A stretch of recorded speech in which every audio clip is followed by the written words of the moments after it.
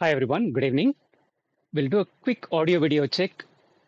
If one of you can say that you're able to see me and you're able to hear me properly in the chat box, and I know that like the session is live and it's going smoothly, we can get started with this edition of the Q&A after that, right?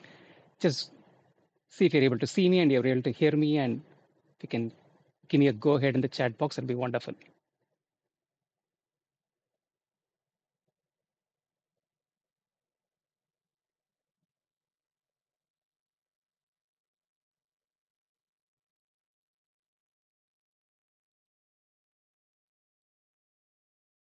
Hey, thanks, Dheeraj. Thanks, Dheeraj. Uh, we'll start taking questions in about five minutes. Before that, what I'll do is, yeah, to start with, welcome to this edition of Wizako's GMAT live Q&A session. What we're going to do is I'll quickly give you a overview of what's happening in this focus edition. What are the things that are changing? So it's like we're all on the same page as to what is happening in the GMAT focus edition. And then I'll take questions one at a time and keep answering them, right? Let's get started. GMAT is introducing what is known as the GMAT focus edition right? This edition, these are the key features of this edition. To start with, we used to have four sections in the GMAT uh, earlier edition, which is basically quant, verbal, integrated reasoning, and there was an essay section called AWA. Now they basically removed one of the sections and brought it down to three sections. Each section is for a duration of 45 minutes. The earlier examination, essentially the quant section was 62 minutes, about an hour. The verbal section was 65 minutes, a little more than an hour. So give two hours and 10 minutes approximately and then you had one hour of IR plus AW, half an hour each. So it was a three hours, 10 minutes, three hours, seven minutes kind of an examination. It's right now becoming essentially a 135 minute examination, which is two hours, 15 minutes. So approximately an hour of the examination has been shaved off. So it becomes a shorter examination, both in terms of number of questions and in terms of the duration of the examination. The old version, the present version, it's got 36 questions in the verbal section, 31 questions in the quant section. That makes it as 67 plus 12, which essentially makes it as uh, for D, uh, IR, and then you have AWA. So talking about 78, 80 questions present in the present format, which is going to be down to 64 questions, 20 in what they call as the data insight section, 21 in the quant section, and 23 in the verbal section. So number of questions goes down. The time duration also goes down. So it's becoming a shorter examination to that extent. IR, which used to be a standalone score on a scale of 1 to 8, is coming into the main score and it's going to be an integral part of it, right? So this is one part. Other changes, this is something which is going to be, uh, many of you might find this information useful and would want to act on it meaningfully. First and foremost, if you had been struggling with sentence correction in the verbal section, sentence correction is completely removed from the focus edition. So if you had had difficulty with this particular thing, you should probably wait for the GMAT focus edition. Second thing, AWA, the essay section is completely removed. No more essays. Every single question that you're going to be answering is an objective type question. And lastly, when it comes to quant, geometry used to be a pain point for many test takers. Geometry is removed. It's only arithmetic and algebra. So again, if geometry had been a pain point for you in the earlier version, you should wait for the focus edition. So these are the things in terms of what portions are removed from the GMAT focus edition. Look at a few more things. Sectional score used to be 0 to 60, but actual score was between 6 to 51 for the quant and the verbal section. For IR, it used to be 1 to 8, which is what is the present one. And AWA was 0 to 6. This was the marking scale for the different sections. So we had different numbers for each of these different sections. In the new format, in the GMAT Focus Edition, the quant, verbal, and the data insights section, all three will be scored on a scale of 60 to 90, moving in one point increments.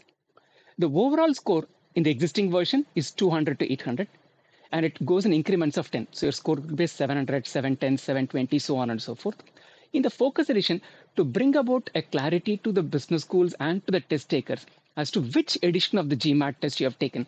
They brought about clarity. They said that the score is going to move from 205 to 805. Still, it's going to move only in intervals of 10. So score is going to be a 705. There is no 710. 705, 715, 725, so on and so forth.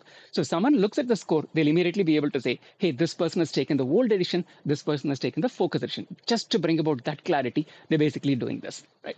Equal weightage for all three sections. So there's going to be one third weightage for the quant, one third weightage for the verbal, and one third for the data insights in the final score of this 205 to 805 reporting scale.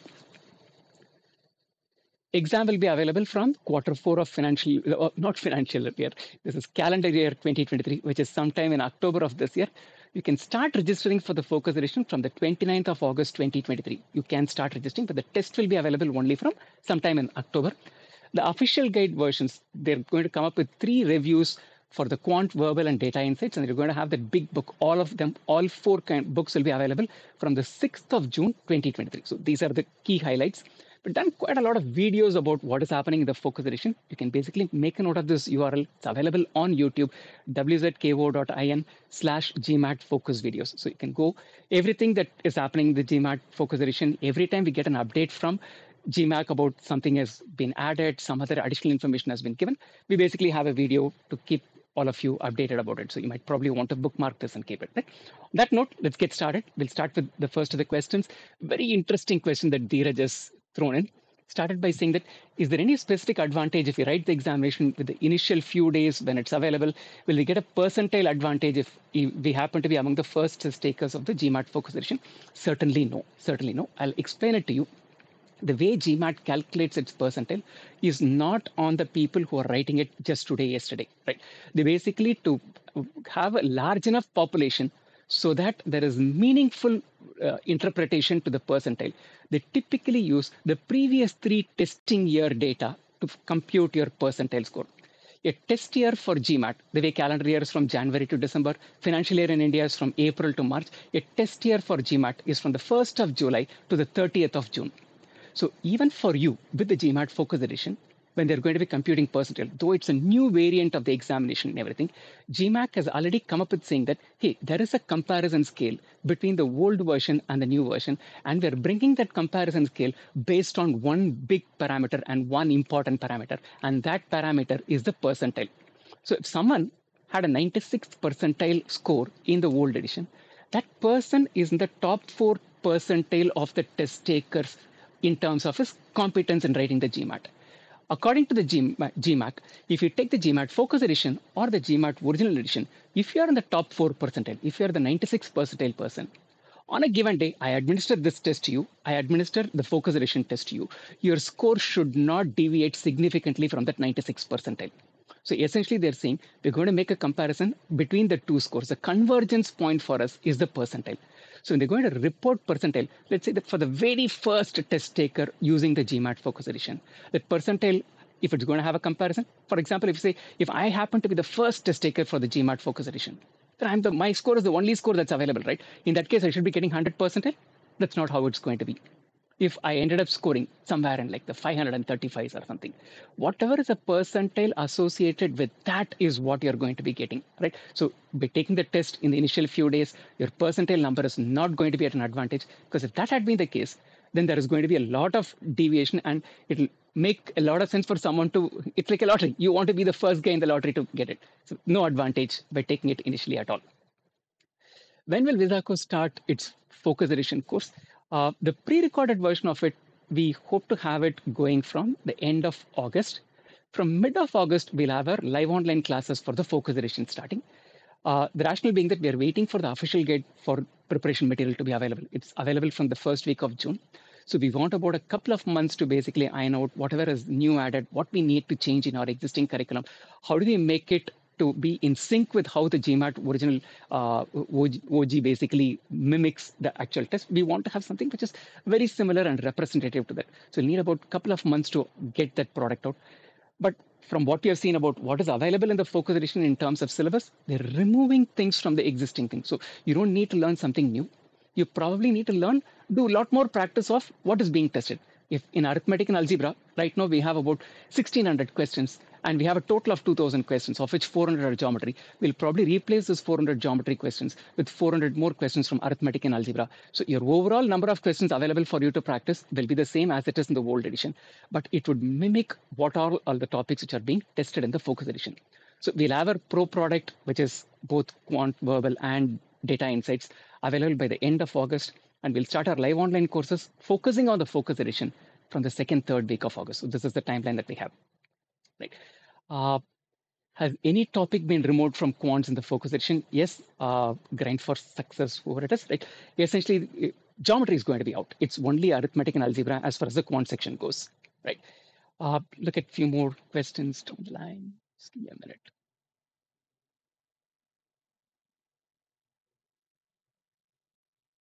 Yes, Abhinav. In terms of geometry, everything related to geometry is removed. They're removing geometry, coordinate geometry, surface geometry, surface areas, volumes, mensuration, all of that. All of that is removed. So geometry is like not there. One other thing, as in like in terms of what Abhinav's question is, this is what GMAC has told in terms of the syllabus that's available for the quant. Right? They've said they're going to be testing arithmetic and elementary algebra. Right? Is it going to have shades of coordinate geometry in it? Because coordinate geometry at some level can be thought of as linear equations when it comes to basically the equation component of it. Right? Straight lines are linear equations. Right? parabolas are quadratic equation. So to that extent, can there be flavors of coordinate geometry in the existing version? Not sure which is why we are not coming up with a product till the official guide for the OG for the focus edition is going to be available. From the 6th of June, it will be available. At that point, if you find any representation of coordinate geometry seeping into the algebraic equations component, we will basically have those coverage also. At that point, we'll have 100% clarity on is there going to be any shade of coordinate geometry in this examination or not. Right, right now, from what it appears, geometry is not there. So believing that coordinate geometry also in a significant way is not likely to be there. Right. The portions removed from old, we have covered that SS. Uh, Abhiveni, that's a lovely question. Is the new GMAT tougher? Your video said 665 in the new GMAT is the same as 720 in the old GMAT. It is, okay, let's think about it tough, easy. We'll look at it in two parts. One in terms of how much is required to prepare, and two in terms of where you need to focus to prepare. Right. And third, probably another aspect, let's bring it, let's bring in the scoring angle of it. Right. In terms of the portion that you'll have to prepare, I would go to the extent of saying the new version of the GMAT takes away about 40% of what you would typically need to prepare for the GMAT examination. In the existing GMAT examination, you will prepare for sentence correction. Sentence correction has got a lot of grammar rules. You have to work a lot to make sense out of it. Right? Subject verb agreement, pronouns, exceptions to those rules is neither nor. What would be plural? What would be singular? Modifier. You place a modifier in one place. You miss a modifier in another place. Way too many things. Right? So in terms of the preparation for the verbal section as it exists today, reading comprehension is something that you do continuously. You read passages, you answer them, you build your speed reading, uh, you comprehend better. That's a continuous exercise throughout your entire preparation. What you actually sit and prepare in terms of concepts would be for critical reasoning and for sentence correction. We're removing sentence correction. Practically, they're taking away 50% or more of what you need to prepare for the verbal section. So the quantum of what needs to be prepared for the verbal section, significant component is removed. Let's look at again quant. In quant, if you look at the present distribution of questions, I would say roughly about 40% arithmetic, 40% algebra, and about 20% would be geometry. Geometry at most will go up to 22, 23%. But in terms of the quantum of what you need to prepare, look at arithmetic topics. It'll be percentages, profit loss, ratios sometimes, interest, right? Uh, uh, averages. These kinds of topics are what you have do they have concepts? They have concepts. But are they concept intensive components? No. You have to solve different kinds of questions, but you're not going to learn anything significantly new to apply those learnings into the question. But when it comes to geometry, the theory component itself, the quantum of what you need to learn is significantly large. So if they're removing geometry out of this entire thing, what you need to invest in terms of the different things that you'll have to learn, that goes down right? How many more questions you need to solve in arithmetic and algebra? That is not going to go down. Probably it's going to increase because the weightage of these two components are going to be higher. But removing geometry is like, though it accounts for only 20, 22% of the overall uh, number of questions, I would take a guess saying that about 40% of the concepts that you learn has been practically removed. About half of verbal, 40% of quant is removed. So from the preparation angle of it, how much different things that you have to learn the new version takes away significantly a lot out of it. So first part we have done. The second part, the focus is now changing, right? When it comes to the, they've introduced a new section called data insights. New in the sense it picks things from different places and basically makes it into one unit, right? It basically picked data sufficiency from the quant section because the new quant section has only problem solving questions. It's taken the data sufficiency, thrown it into data insights. And it's picking IR, which was a basically an outlying score, as in like the score was not a part of the integral 800 score. So bringing that into data insights. Earlier, what anyone would have typically advised uh, test takers is like, hey, IR is important, but if you're running out of time, ensure that you get a six on eight on IR and keep your head above water and focus the extra time that you can invest in that into quant and verbal. Because when someone talks about GMAT score, we always talk about how much did you get out of 800? I got a 720, I got a 740 is what people say, right? They'll even go to the extent of tom tomming saying that I got a Q51, I got a V47. That kind of thing happens, right? So quant and verbal were the key drivers of your GMAT score in the older version. Now, IR as a part of DI and data sufficiency, which is also part of DI, is going to be equally as important in driving your overall score, which means that people who took or basically did not give as much importance, rightly so, to the integrated reasoning section and focused a lot on quant and verbal cannot afford to do the same thing. And integrated reasoning per se is a little more difficult than quant and verbal. Because if you look at the integrated reasoning section questions, yes, there is tables, there is graph, there is uh, verbal related questions, but most of the questions test multiple aspects of your understanding. There's definitely a numerical angle to it. There is definitely an inference, critical reasoning, reading comprehension kind of have you understood this question and have you answered it right? Those angles come into it. So in a way, it tests people who can do very well in IR should be people who have good competence in both quant and verbal, and a little more is needed.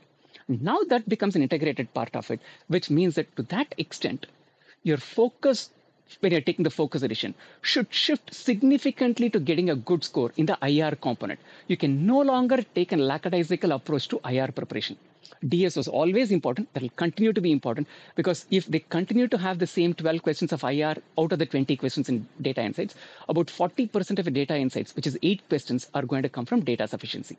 So this DI is going to become increasingly more important to get an overall good score. Right. The number 665 and 720 is not what I told, it's what GMAC has said on their website. This is essentially the thing. What GMAC wanted to bring in is saying that, hey, we have created a percentile equivalent for each of these core numbers. How did they probably go about it? This is what they would have done. They basically taken from 2017 to 2022 all the GMAT test takers, that number worked out to about 866,000 or 900,000 people, roughly a million people, right? They basically picked whatever, that they have question wise information for all of these test takers because the entire database is available with GMAT. So they would have said, if I convert this test, if, for example, problem solving is now going to be a part of quant. IR, whatever the answer is going to be a part of data insights. Verbal, I'll remove whatever they scored in sentence correction, retain only what they scored in reading comprehension critical reasoning. They would have basically written a program which would have culled out this test, each of these test takers scores for what it would have been had these old tests been administered as a GMAT focus test. And they would have run the algorithm and they would have basically got a score for each of those things. That score, 665, basically you have 6 percentage of the people scoring that, which is 94th percentile. That's exactly the number for 720 in the old format. So in terms of a scaling, it becomes a little difficult. So essentially now what we're going to be saying is 665 is a good score as much as 720 was a good score is what we're going to say. We're going to talk a different language right now. It's like suddenly saying that if a country changes its currency, right? Yesterday the currency of a country was, let's say, X, uh, someone had their own currency, ABC, and today they're changing their currency to dollar. The value system suddenly changes, right? That's essentially what is going to happen. So it's not that the 6665 makes this test more difficult. You have plugged in a old test data and ported it into a new scoring system. And to that extent, it's going to look a little different, right? So keep that perspective in mind. So it's not going to become difficult because of the scoring number. And the scoring number is also going to change. 665, which is probably the 94th percentile. If you look at it a year down the line, may not be 94th percentile. It might be a 98th percentile. I'm again wagering a guess here for the simple reason when people know integrated reasoning is an integral part of your score, all of us test takers are going to become smarter. We are not going to take integrated reasoning with a lackadaisical attitude. The time that we are saving from geometry and sentence correction, we'll invest in scoring better in integrated reasoning. So the previous five-year people who took the test, for them, integrated reasoning was a data which was external to their overall score for us, people who are going to take the GMAT Focus Edition, it's going to be an integral component of it. So we're going to give that much more importance to it, which means we're going to score higher in that section because we're focusing more on it. So this range would change. It's what you see today is essentially picking their test scores and importing it into the new format for GMAT focus edition. And GMAT has to do this to bring about a synergy, a convergence point between people who taken the old test and the new test. Because percentile is finally a number which is uniform. Of so many test takers, I'm the top 2 percentile, I'm in the top 4 percentile. That's not going to change, right? That format or this format, they have to bring that convergence, which is why they're given that comparison table don't use a comparison table to think that the new format is necessarily tougher. It's not necessarily tougher, not necessarily easier. Easier from the portions component.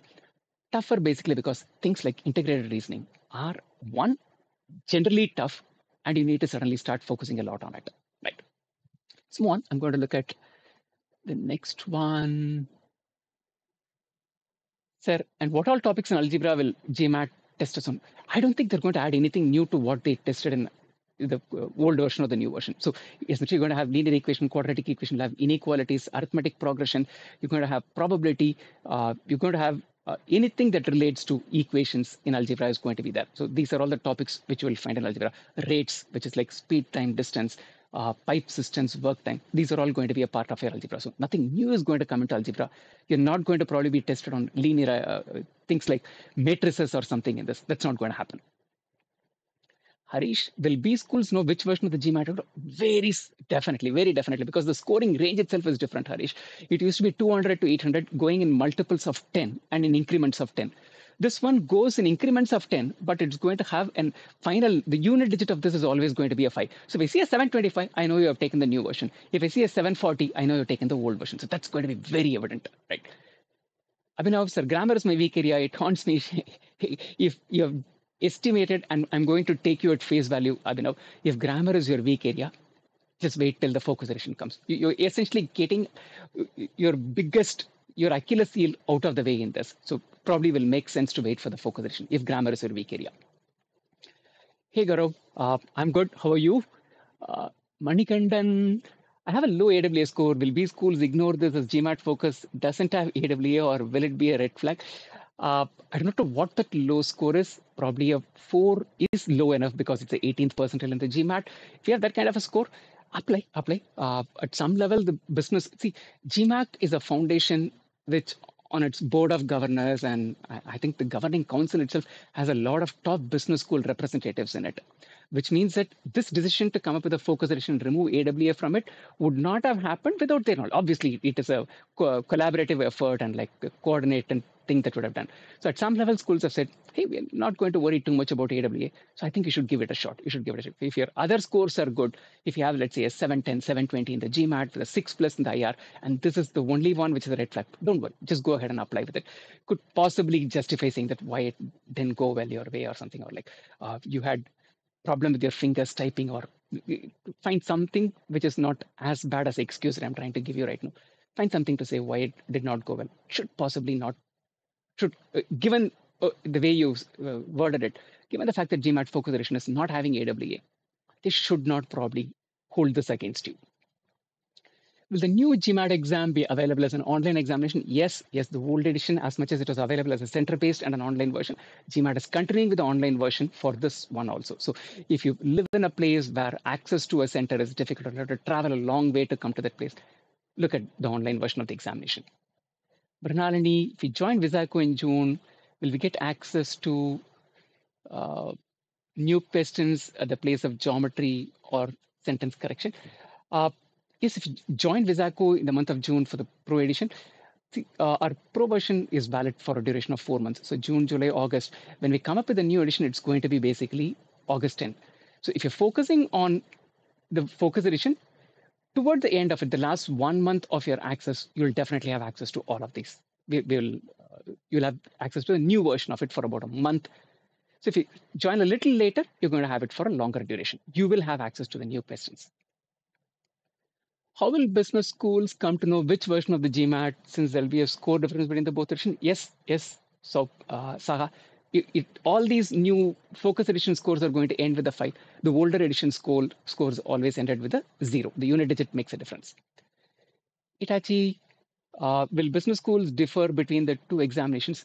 They should not differ between the two examinations for the simple reason uh, they will at some level there will be a convergence point for them in terms of the percentile so they'll know that hey this gentleman has got a 665 in one and this lady has got a 720 in the other examination these two percentile wise are the same so therefore these two students in terms of what the gmat tests about them have the same competence as what it is going to be. So they're going to look at the percentile, not just the absolute number. They have the percentile rank obviously with them. And to that extent, it's not going to make a difference at all. And at some level, business schools, because GMAT keeps running this survey with business schools periodically and makes adjustments to its test so that the test stays relevant. See, at the end of the day, you have to realize that the business schools during the COVID year said they're not going to look at the test, they're going to not look at GMAT or GRE. GMAT has to stay relevant. GRE has to stay relevant for business schools to use those as metrics to admit students. If these tests are basically uh, anachronistic, they're, they're basically out of their time. If they're not going to measure what the business schools think are relevant to measure to uh, judge whether to give an admission to a student on academic grounds because GMAT and GRE basically say that they are indicators of how well you are likely to perform in the first year of your study at the business school. So schools will keep giving them feedback. At some level, they've told them that, hey, you basically uh, go with this newer version. So schools know the older edition existed till this point. This is a modified version. The older edition tested some things which are not tested in the newer ones. So to that extent, the older edition is not at a disadvantage. The newer edition is what they think is now relevant. So they're not going to make much of a difference. They're going to worry only about the percentile scores. I'm from a business family. This is Abhinav's question. I'm really looking forward to the GMAT, but bad ACADS in 10th and 12th, will it be a hurdle? I got decent score in graduation. Have seven years work, ex- right? Uh, 10th and 12th, to the large extent, especially if you're applying outside India, you have seven years of experience, you have a possibility of applying to the PGPX programs, which is the EMBA programs at the IIMs, Ahmedabad, Bangalore, Calcutta, Lucknow. Uh, I think Indore offers it, and a bunch of other newer IIMs also offer it. XLRI has a program which is called PGDGM. All of these are one year MBA. ISB obviously is there for a fact, I know that Ahmedabad places a lot of emphasis on previous academics and they look at overall academic credentials starting from your high school, which is 10th standard. So you might probably be at a disadvantage with IIM Ahmedabad's PGPX programs. The other places, it should not be such a big deal, especially if your graduation is good, seven years of experience, and you can basically substantiate saying that now I'm academically good with a good GMAT score. That should basically help your cause. If you're applying outside India, it should not really matter if you can essentially many of these schools will have an optional essay if you can kind of give a narrative which is good to justify why your scores in 10th and 12th were not good and how that basically shaped you as an individual to where you are today right? Everyone is looking for transformation right? It's not that if you did so well from 10th 12th and con- continued with the uh, all good story all the way they're wonderful. They're happy to have such a student. As much as business schools want to know someone basically everyone loves this uh, rags to riches story. Rags to riches need not necessarily be monetarily. It could also be in terms of how well you realized what did not go well for you in your high school or higher secondary school and how you made amendments to it how you corrected you fought that way through to get to a good graduation and how you did well during the seven years of business and how those were good learning lessons for you to basically navigate through tough times or like hurdles right? So those are things people like to listen. They want to know how you navigated through it. And if that narrative is good, this, this is definitely going to be uh, a thing which is going to work in your favor rather than against you. Just a minute, guys. I have to move here and there to read it. So, do we miss the advantage of R1 deadline if we take the certainly yes certainly yes the uh, gmat focus edition is going to be available only from quarter four, which is like earliest is October of 2023. By October 2023, most R1 deadlines will be done. So if you're focusing on R1 deadlines, I would recommend that you take the older format of the GMAT. Chandra, can you say when the OG will be available? GMAT has said that it's going to be available from the 6th of June, which is about 15, 20 days from now. You'll be having access to it. Uh, it should be available in all places, uh, including Amazon.in, is what they've said. All uh, you can you, both the e-book format and the physical book format will be available for you from June 6th, 2023. Dheeraj, supposed to go up with time as people will be preparing IR more. Absolutely, Dheeraj. Absolutely, right. Uh, the 65, 720, that differential that we're seeing, which is a significant difference. When I saw that uh, blog post on GMAT's website, MBA.com, I was also for a moment like, the first thing that hits you is like, has it suddenly become so difficult to only top 4% of the people manage the 665 is the first impression that I got. But as you rightly pointed out, as people prepare for IR more seriously and their IR numbers start looking up, it, the convergence will happen even in that number. It's not just the percentile convergence. It probably is, um, um, again, in, in three years down the line, probably a 695 and a, in the new version and the 720 in the old version might be the same, same person. It might even be higher, right? You're absolutely right. I think that's what is likely to happen, right? Again, we are talking about likely scenarios. Only time will tell whether whatever we are making a guess right now is right or wrong right? So don't put a gun to my head in two years down the line. You said this. No, I didn't say that. I'm saying it's likely to happen. Right. Uh, Zubaida, which is easier, present GMAT or the GMAT focus edition? Uh, it, it purely is a function of a few things, right?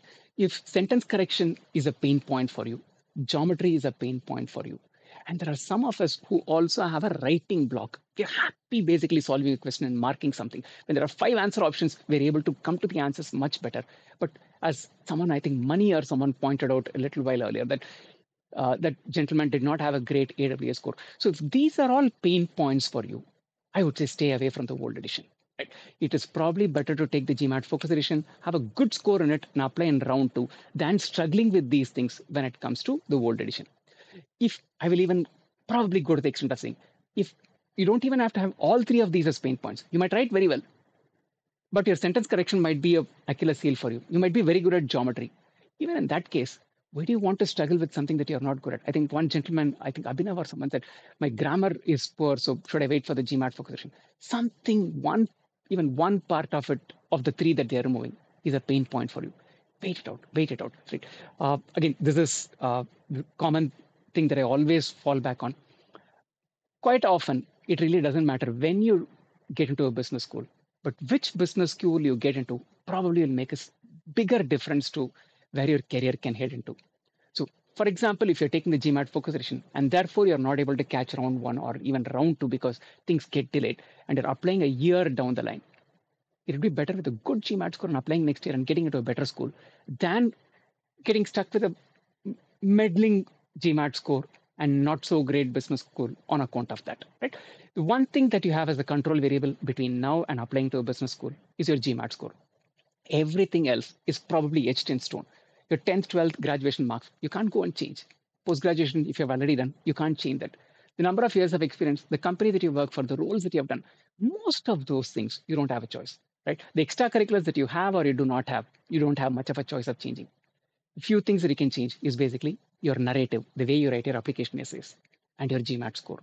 And GMAT score basically is something which is uh, it is probably one thing on which every test taker, every applicant is weighed on a uniform scale. Delhi University scoring versus Madras University scoring, we can have debate about which is easier, which is tougher. Someone will say BA economics, 70% in Delhi University is the same as 83% in Madras University, or vice versa. I don't know which is tougher, right? The point is, those are debatable things. But the Delhi University student who's applying to, let's say, a business school in the US, Canada, or ISB or IIMs in India for the one year program, and a person from Madras University who's planning to apply to this these places will both take the same GMAT and they're measured on the same scale. So this is a metric that business schools give a lot more importance to because all other things are relatively subjective in the sense like uh, there are arguments which can be basically waged on either side of it. So this is a case where it is a uniform metric for everyone. So GMAT is going to be an important component. Therefore, whatever gives you your best advantage, where you can showcase a high percentile, a good score in the GMAT, do it. If you think you're already good and sentence correction is actually one of your strong points, you do very well in geometry, you might as well take the old edition of the GMAT and get your score right away and keep it with you. Because in the verbal, let's say of the three things that are there, you have a reading difficulty. On an average, out of the 13, 14 sentence correction questions that are there, you get 11 to 12 of them right. But in reading comprehension, of the 11 to 12 that you see there, you manage to get only seven of them right. The GMAT Focus Edition is going to be one which is purely reading comprehension and critical reasoning. Your advantage is remote, right? The power play for you is like completely gone. So if sentence correction happens to be your power play, I would suggest you take the older edition.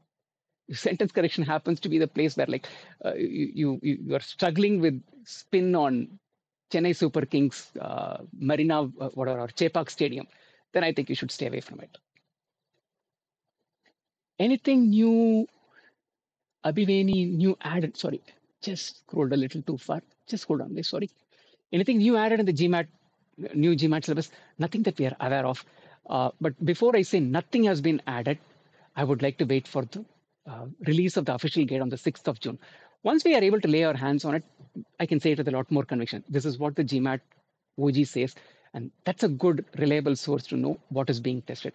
Right now, nothing that they have mentioned that is being added. So that is what I can say, right?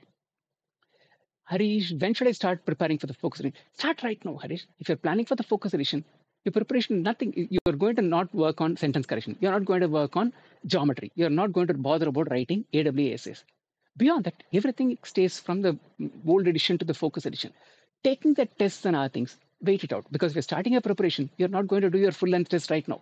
So start your preparation today. Focus edition is down in October, right? So we are in the month of May, June, July, August, September. Four months of preparation is definitely needed to take the test. So if you want to catch early round deadlines, uh, uh early test availability, and apply for round two of this year, you should start your preparation today, tomorrow types.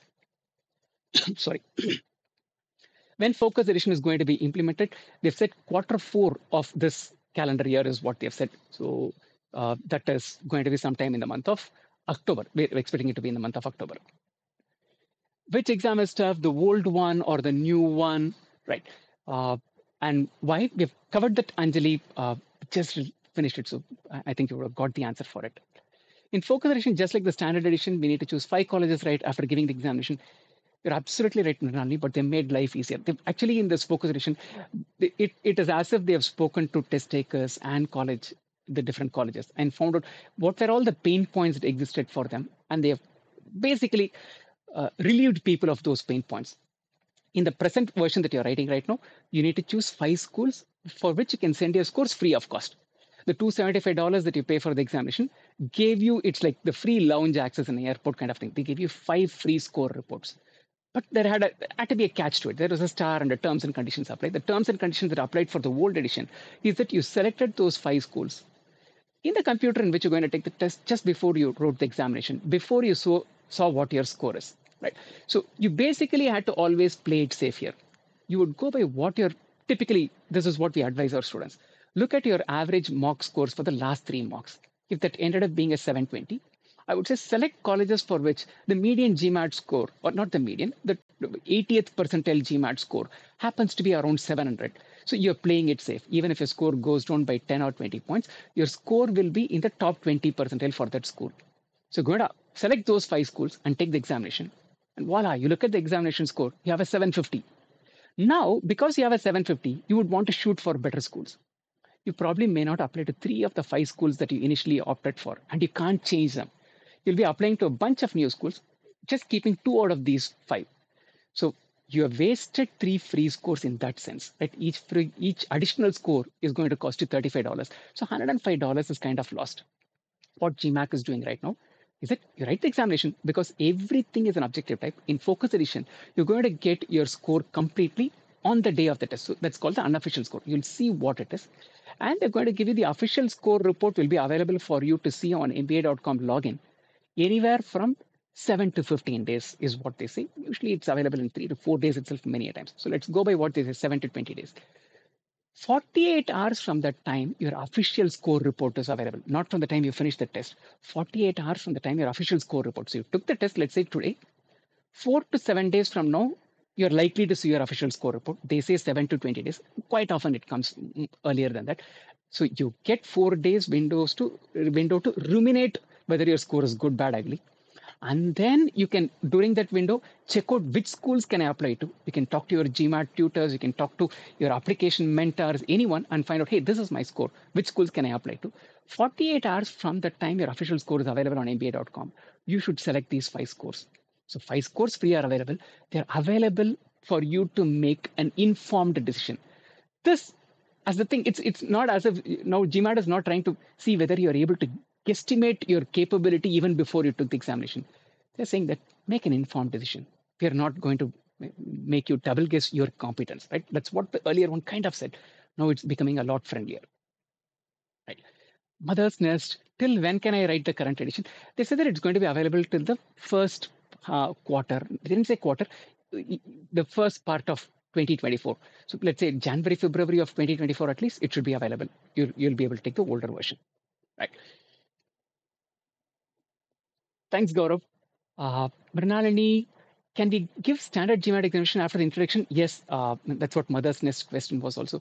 You should be able to take it in the early part of 2024 also. I think till at least Jan, Feb, they should be making it available. Rahul, I took Wizako Hybrid. Due to personal problems, not able to. I've restarted. Can you just touch base with us, uh, with our support team? You have our number. We'll take it at that place. Right? Thanks, Rahul. James, can you can you tell me how I have to arrange for my total MBA application for M7 or top 10 business schools, including GMAT application, transcript, consultancy? Uh, how much will I have to arrange for in terms of money, how much you need to get through with this application process? Uh, the GMAT examination itself, uh, $275 is the application fee. Uh, preparation should anywhere depending upon whether you go for recorded course, live online course, physical classroom course, one-on-one tutor I'll give you the range. It should be anything from about 10,000 Indian rupees all the way up to a lakh of Indian rupees because there are people who choose to go with one-on-one tutoring, private tutoring. They do cost a bit. So GMAT preparation, keep that kind of number. Choose what works for you. Again, playing it extremely safe. I would say budget for two attempts of the GMAT because you would do in the first attempt.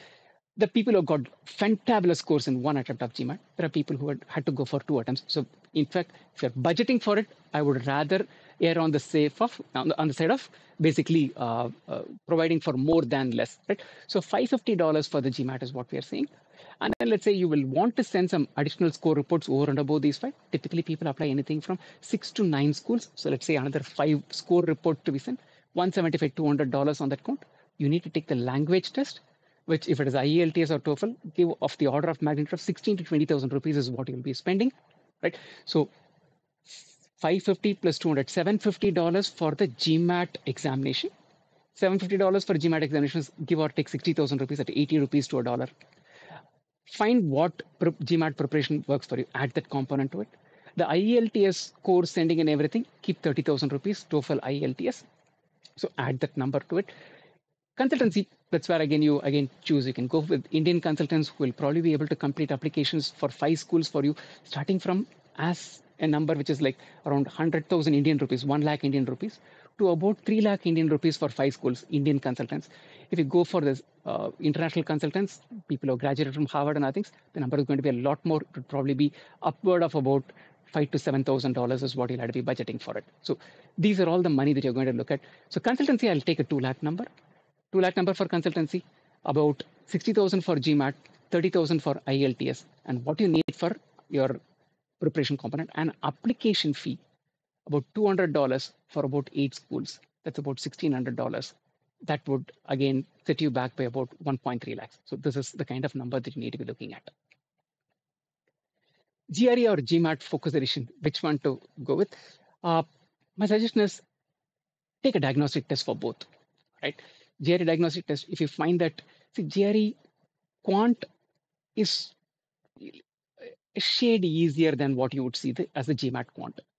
GRE verbal, reading comprehension is on uh, more or less the same between the two. The question types and other things are a little different. The passage could be a little different between the two, but reading comprehension at the broadest level are basically one and the same in both. There's a lot of vocabulary importance in the GRE. If you're someone who likes words. You've been doing crosswords. You've been doing like jumbles and words, and you, you love to use those floccinaucinihilipilification. Though GRE never tests that. Right? So if you're someone who loves words per se, you might be an advantage with GRE. Sorry, guys. Again, let's not go by our hunches and feelings. Take a diagnostic, see what you get there. Take a diagnostic for GMAT focus edition. Once you've done that, you'll also get one sense of what is likely to work for you. Back yourself and prepare for it. Uh, James, I've answered your question. Gokul Prithviraj, if I prepare for focus edition, can I still write the current edition? What should I do differently? you prepare for the focus edition, you need to add to that sentence correction, geometry, and AWA to prepare for the world edition. Right? I would say do it the other way. Prepare for the world edition. You can shave off things and write the focus edition. Right? That's how it basically works. Focus edition has fewer things to prepare. Said Bhaskar sir, thanks again for all the answers. Thanks, Mrunalini. Thank you. Uh, James, I've answered your question. I think it took me a while to come there. So I guess all of those are answered. Sure, Rahul. Sure. Should I wait and take the new GMAT Zubaida? Uh, the, I kind of, I think we answered this. If sentence correction and geometry are strong points, take the old edition because you have an advantage there. If sentence correction and geometry are not your strong points, wait it out and take the GMAT focus edition. If you take the pro right now, uh, the pro would be valid for four months. Our focus edition course is going to be live only by end of August. So by then, this would probably be in the last one month of it. So you would get access only to the older version. You'll get only for a month in access to the newer tests and everything. So if you're planning on the focus edition, probably would want to wait for another month before you take it up. Right. That note, thank you so much. Thank you so much, guys. A lot of questions. Thing is, uh, irrespective of whether you're going for the focus edition or this, if you're planning to apply for a 2024 MBA, MBA starting in 2024, I don't think you can afford to miss waste any more time. If you think that you're more likely to be taking the focus edition, keep sentence correction geometry out of the picture for the time being and prepare for the rest. If at some point in time you realize that, hey, I've done everything of this, IR is a little shaky for me. I don't want to struggle with data insights. I would rather do preparation for sentence correction and geometry and go with the older edition. You could make that addition to your entire preparation later on, right? First three months, let's say uh, June, July, August, prepare for whatever is there in the focus edition. At that point, you realize data insights is basically bugging me. I'm not able to make as much headway as I would want to then in that case, IR is an external component of the old edition.